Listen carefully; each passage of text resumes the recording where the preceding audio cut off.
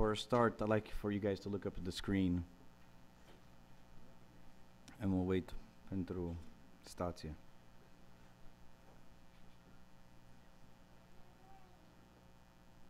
said to Abram, Go from your country, your people, and your father's household to a land I will show you. I will make you into a great nation, and I will bless you. I will make your name great, and all peoples on earth will be blessed through you. So Abram went, as the Lord had told him, and he took his nephew Lot with him, and set out for the land of Canaan.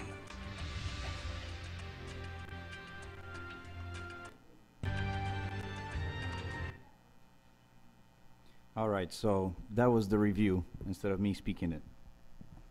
Um, and so from there, the story continues in Genesis 12, chapter 7, uh, verses 7 and 8. Tonight's topic is going to be about Abraham's altar. Um, if you guys like to follow with me on the screen, uh, the verse is going to be uh, put on there. It's, uh, again, Genesis 12, verse 7. It says, The Lord appeared, and we talked about this last time of the different revelations of how God reveals himself to us. So the Lord appeared to Abram and said, To your descendants I will give this land. And so, I highlight, I underline the important parts. He built an altar there to the Lord God who appeared to him. He left that place, went to the hills east of Bethel, and he pitched his tent. With Bethel to the west and Ai to the east, he built an altar there and called the name of Adonai. My question to you tonight is how much do you seek the God of the universe? The Lord, the Bible says, love the Lord with all your heart, mind, and soul. That's the God that speaks to you, the one that gave you his commandments, the one that has angels, the one that answers your prayers, and the one that controls history. The God that has the power to send you to hell, and the God that can take your life, and also the God that can bless you financially as well. Do we really care about him? Do we know him? Abraham was considered God's friend. And why? Because he cared to know him. Do you really care to be his friend, or do you care at all about God? That's my question to you tonight. Or do you see yourself as God doesn't really affect me at all? Um, I'll get to know him when I get to know him. I'll do my schooling, I'll do college, and later on in life, I'll, I'll see about committing my life to him. Let me party, enjoy high school, have fun at college, and then I'll get around to him. Do you see him with the God? Do you see God with a long beard sitting up in heaven? Or do you see God with a baseball bat just trying to hit you when you do something wrong? Or he hits you with lightning when you curse his name?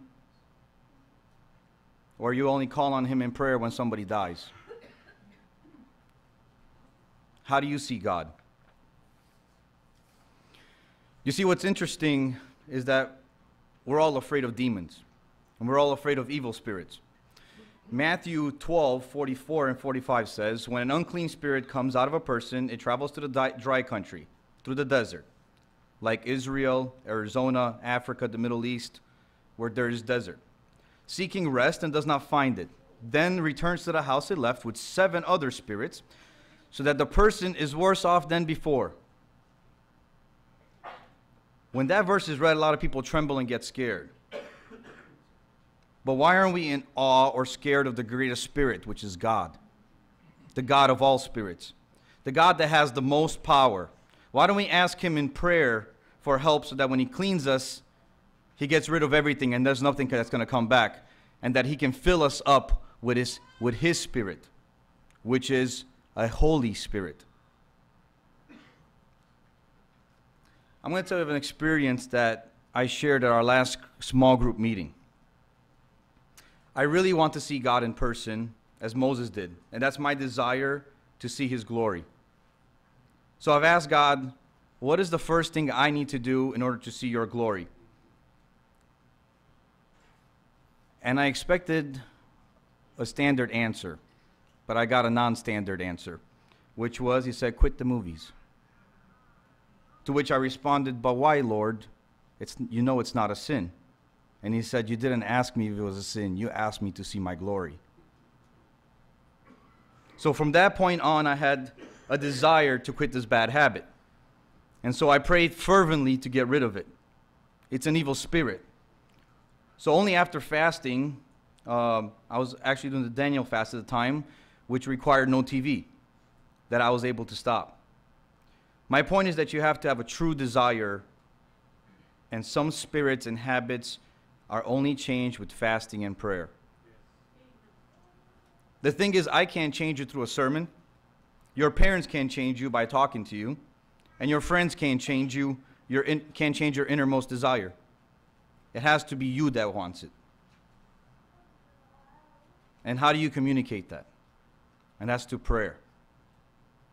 So let's look at Abraham's life.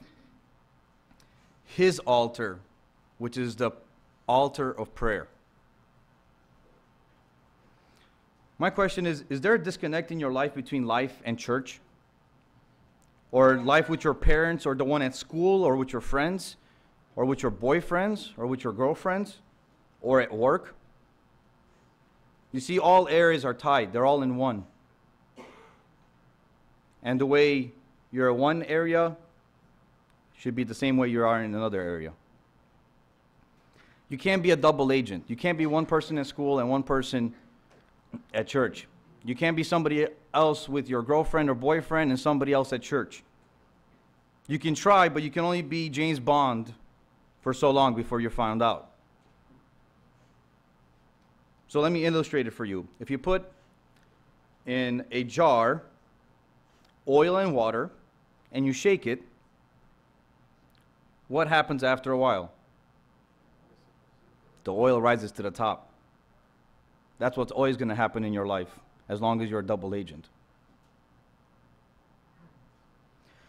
You see, Abraham's story at the core is about finding God and then finding his identity in God. So, what does Abram do? Abram builds an altar, a place where he can call upon God. And now I have a message to the parents as well. Do your children know where the altar in your house is? Do you sacrifice on the altar together together and what I mean is do you pray together on the altar? Do you call upon the name of the Lord together? You want them to pray in church and to have courage to raise their voices to God. But when do they hear you pray? Beside in church. Do they hear your tone, your voice, your actions, if you raise your arms or not, if you cry or not, if you raise your voice in anguish or desire to praise God? And I want to show a small clip. It's a five second clip of the way Isaac saw Abraham praying as an example.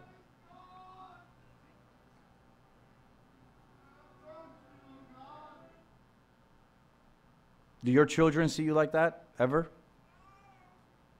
At least once? Do they have from who to learn? And lastly, do you pray in English with them? I know it's hard, but if you want them to make an effort to pray in church, then you have to make an effort as well. And are you first making the effort and showing them how to pray?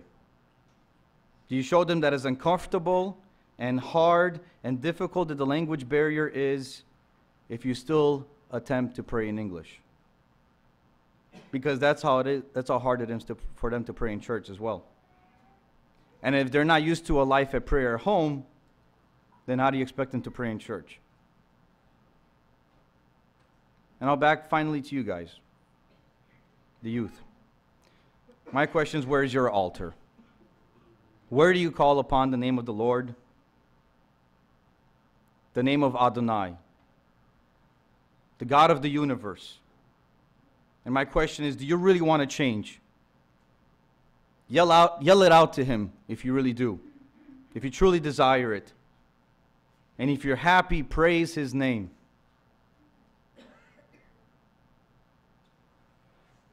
Or yell, I need change. Change me because I can't do it. Day after day, and tell him what's your, tru- your heart's true desire. But my question is is it your true desire? Do you really want to change? And if you do, ask him. Why wait? You see, Frate Verancilla said while he was here and he visited us and had a sermon, he said, Why does a car accident or a health problem or any other evil have to befall you before you make a change? Why not make it today? How long will you postpone it?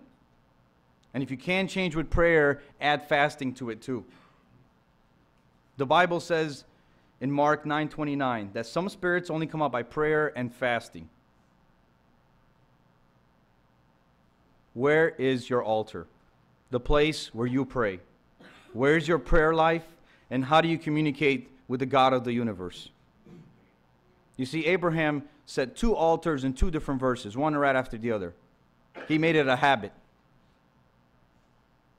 Our altars are our prayers. And where is your altar of prayer? And parents, where is the altar with your children? If you want the change, make the change. I mean.